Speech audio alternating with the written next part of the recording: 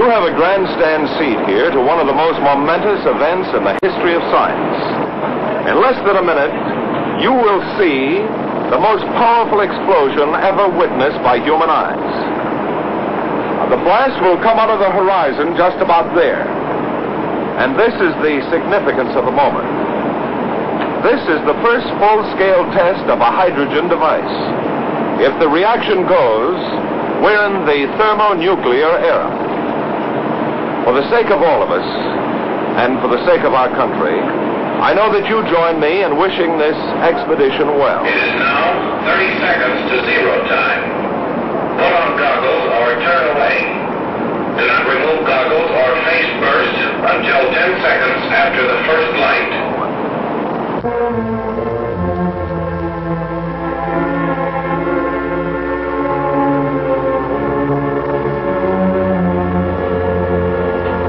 15 seconds.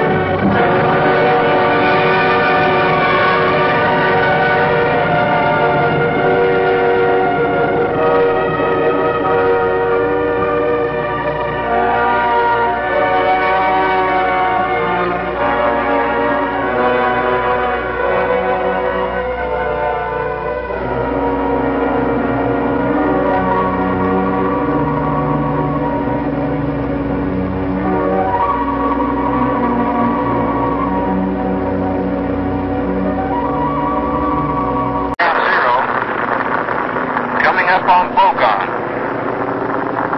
The detection station on Bogon appears to be in good shape. No visible sign of plywood tube. All test islands seem to be swept clean. Elugelab is completely gone. Nothing there but water and what appears to be a